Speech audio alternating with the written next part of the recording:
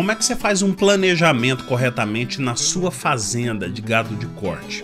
O que eu vou passar aqui para vocês hoje é uma ferramenta extremamente importante para todo mundo, empresário, é, fazendeiro. Só que eu vou tentar aplicar ela o máximo possível aqui para sistemas de fazenda, já que é uma ferramenta de administração de empresas. Essa ferramenta ela é chamada originalmente de 5W2H, porque ela foi criada nos Estados Unidos.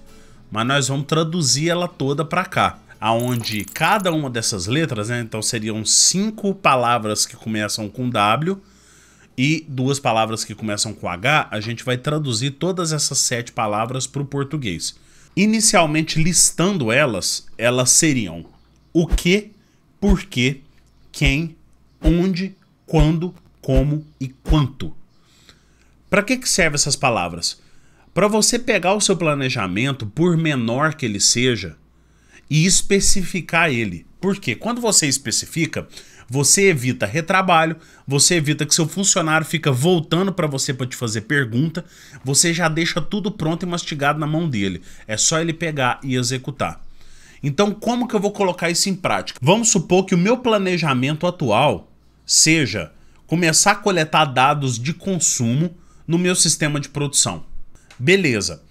Quando eu falo assim para você, fica até difícil de saber por onde que a gente começa. Para isso que serve esse tipo de ferramenta. Você pode pegar papel e caneta para fazer isso ou você pode fazer isso numa planilha diretamente, onde você coloca cada palavra dessa dentro de uma coluna. E cada linha vai ser o seu planejamento. Então, esse aí que eu falei para você agora de coletar, é, fazer um controle de consumo e coleta de dados para um sistema de produção, vai ser uma linha. Aí é que vem a parte interessante do negócio. Por quê? No momento do planejamento, pode até ser um pouco mais complicado, porque você precisa dar muitas informações. Só que você vai facilitar tanto a vida de quem vai executar isso daqui, e a principal parte do planejamento numa fazenda está na execução, que geralmente é onde as fazendas não fazem. Elas são ótimas para fazer reunião, fazer planejamento, determinar metas, mas na hora de botar para rodar é onde falha o negócio. Então vamos lá. Primeiro ponto é a palavra o que. O que é exatamente o que eu falei para vocês agora no começo: coletar informações sobre consumo no sistema de produção. Beleza. Nesse ponto, a gente falou lá no começo que estava amplo, mas agora começa a especificar. A segunda palavra, por quê? É importante quem vai executar saber o porquê que ele está fazendo isso. Isso dá até um sentido de propósito dentro do serviço dele. Para que, que você quer coletar informação de consumo no seu sistema de produção? Para que eu possa ter um controle desse consumo e saber se está consumindo mais ou se está consumindo menos. A partir desse ponto, eu sei que eu devo tomar algumas ações caso esteja consumindo a mais, e eu sei que eu devo tomar algumas ações caso esteja consumindo a menos. Aí isso vai ser outro planejamento. Terceiro ponto, quem? Importantíssimo. Você determinar não sair espalhando essa demanda para todo mundo na fazenda. Fala, ó, a partir de hoje todo mundo tem que coletar dado. Quem estiver passando perto do coxo vai lá e coleta. Não determina uma pessoa ou um grupo de pessoas para fazer isso. Quem que é a pessoa responsável por salgar coxo? Então deixa desenhado. Ah, é o Jackson que faz isso. Beleza, a partir de agora, o Jackson vai ficar responsável por fazer a coleta de dados do consumo dentro da fazenda. Beleza, até agora na nossa planilha a gente já colocou o objetivo, que é o que, a gente já colocou o porquê, que é o propósito do negócio, e já colocou que é o Jackson que vai fazer isso. Quarto ponto é onde. Extremamente importante. Para cada planejamento, a gente pode ter uma estratégia diferente. Eu vou dar um exemplo para vocês de como acontece na minha propriedade. Aonde eu faço o tratamento a granel, a coleta de dados é de um jeito. Isso vai afetar lá no como, lá embaixo. Agora, onde eu faço tratamento em Zacarias, a coleta de dados é de outro jeito. Então é importante que nessa linha eu tenha especificado em qual sistema e qual pasto que eu vou fazer isso. Então agora, olha só, já virou coleta de dados de consumo do sistema de produção, aonde? Lá na engorda do pasto 5. Ou você pode agrupar, por exemplo, ó, o pasto 5, o pasto 8, o 10, o 11 e o 12 são todos de sacaria Beleza, coloca tudo dentro do mesmo plano de ação. Onde você coloca lá pasto 5, pasto 8, 10, 11, 12. Beleza. Esses vão ser desse planejamento. E aí te abre margem para criar um segundo planejamento, aonde no pasto 1, 2, 3 e 4, no pasto 6 e 7, você tem, é, por exemplo, um tratamento a granel. E depois lá no pasto 9 você tem outro tipo de tratamento. Aí você vai no passo aonde você tem tratamento a granel e monta um outro com um como diferente. Beleza, mas ainda nós estamos no onde. Você determinou quais pastos ou quais glebas que você vai trabalhar esse planejamento. Tá vendo que tá ficando muito mais específico do que estava antes? Agora eu já tenho qual é o objetivo, o porquê desse objetivo, quem que vai fazer e aonde que vai ser esse trabalho. A próxima pergunta é quando. Importantíssimo, gente. Quando que ele vai fazer isso? Nem que às vezes eu não determine um horário específico, mas eu determino assim, quando for salgar coxo. Quando ele for salgar coxo, ele faz a mensuração de consumo. Porque eu falo uma coisa para vocês. A gente tem todo tipo de funcionário na fazenda. Mas a grande maioria funciona muito melhor se ela souber em detalhes o que, que deve ser feito. Falando assim para vocês parece óbvio, mas na verdade, gente, não é muito bem assim não. Se você é líder, se você é o dono de uma fazenda, você já deve ter percebido assim algumas vezes, que você pede uma coisa para uma pessoa e às vezes ele faz outra coisa. Por quê? Porque o que você pediu não ficou claro.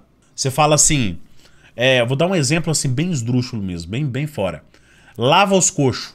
E aí talvez essa pessoa veio de uma cultura aonde coxo de água e coxo de comida é tudo chamado de coxo. E tem outras culturas que bebedouro é uma coisa e coxo é só para comida. E aí você fala para ele pensando nos bebedouros. Você fala, lava o coxo, pensando nos bebedouros. E ele vai lá e executa o quê? Começa a lavar o coxo de comida.